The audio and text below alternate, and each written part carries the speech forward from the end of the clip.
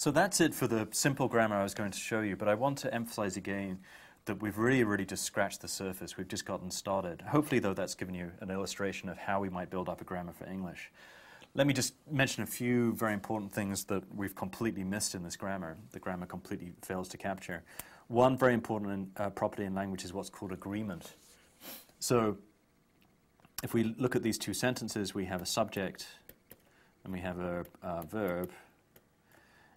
And critically, in English and many, many other languages, there's this property where the subject and verb have to agree. So if I have a plural noun, for example, dogs, I have one form of the verb, which is laugh. If I have a singular noun, dog, I have a different form of the verb. So there's some notion of agreement between the, the noun uh, in the subject and the main verb of the sentence. And the grammar I've just shown you has, has completely failed to capture that constraint. A second very interesting phenomenon uh, is WH movement, which has led to all kinds of uh, interesting realizations about the structure of language.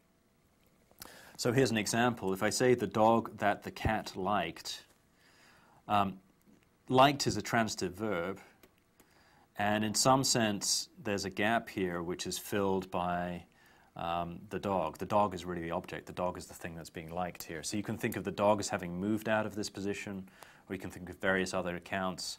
But there's definitely some kind of hole here which is filled by this phrase earlier. This is called WH movement. Another example is something we've missed. You know, we have active versus passive sentences. So we can say the dog saw the cat uh, versus the cat was seen by the dog.